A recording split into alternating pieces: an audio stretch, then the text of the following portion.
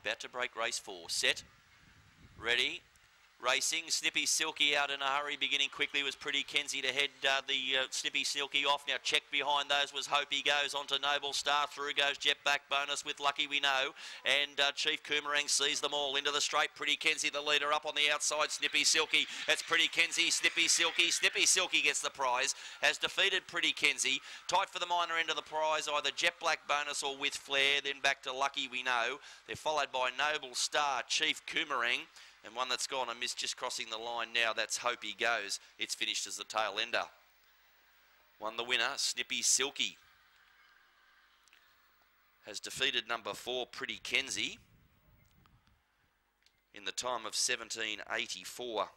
It's just hard to pick up. Snippy Silky there on the side. The rug seemed to have uh, shrunk somewhat. $3.90 and 140 a return to Snippy Silky. Defeating number four, Pretty Kenzie, at $1.90. And eight has got third. That's with Flair. One, four, and eight. Six getting fourth. That's Jet Black bonus. One, four, eight, and six, the numbers. One, four, eight, and six. First to one, Snippy Silky.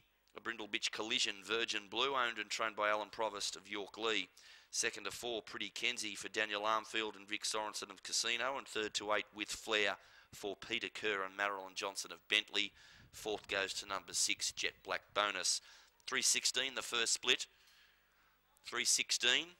Now the winner is scored by a half length with seven lengths between second and third, a half by seven, 1780 for the time, 316 the first section, 1468 the run home time, and 1784 overall on race number four.